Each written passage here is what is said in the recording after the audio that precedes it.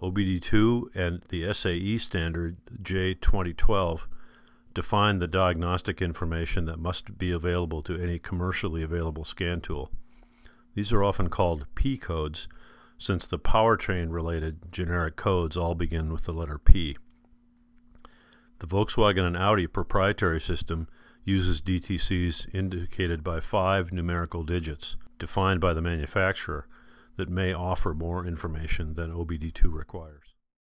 Initially, the scan tool will ask you to select what VAG calls the Rapid Data Transfer mode, which may also be described as OBD2 16-pin data link connector or something similar.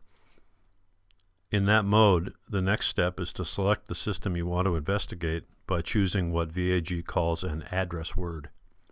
This illustration shows the hierarchy and four of the most basic address words used for troubleshooting Volkswagen and Audi models in general. For example, many data groups include a data field for RPM, or perhaps engine temperature. These parameters appear often because they are meaningful in so many otherwise unique data groupings. Older engine control modules may only display the simplest values, while newer ones are able to display as many as 255 display groups. Display group 0 has 10 display fields. The others, starting with display group 1, have up to 4 each. Note that a display group number is always entered as three digits, shown here in the prompt as XXX. Display group 5, for example, is entered using digits 0, 0, and 5. Display group 4, for example, represents battery voltage to the engine control module. The display will be in the range from 0 to 255, representing the actual value in a range between 0 and 18 volts.